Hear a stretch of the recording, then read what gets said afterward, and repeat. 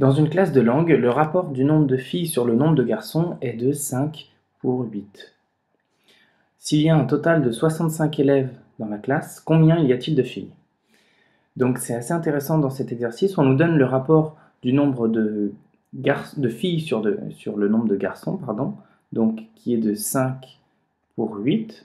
On a 5 filles pour 8 garçons, et euh, on nous donne le nombre total d'élèves et on veut connaître combien on a de filles. Donc, dans cet exercice, il va falloir réfléchir un petit peu autrement. Il va falloir essayer de s'intéresser au rapport du nombre de filles sur le nombre total d'élèves.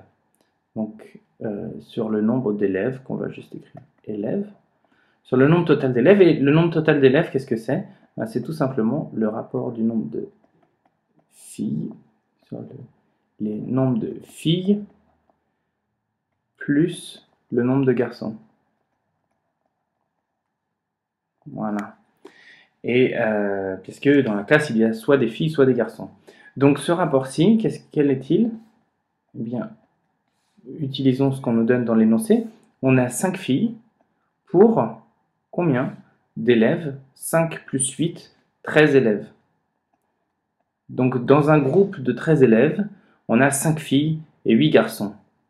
La question maintenant est de savoir combien on a de groupes de 13 élèves dans la classe de 65 élèves.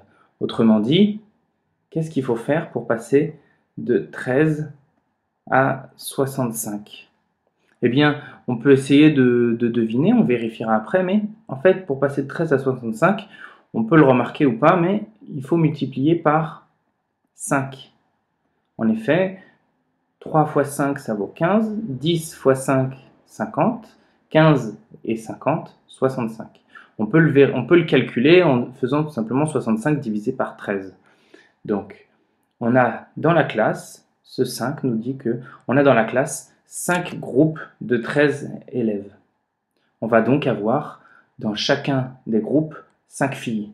On a donc 5, comme ça, 5 fois 5 est égal à 25 filles dans notre classe.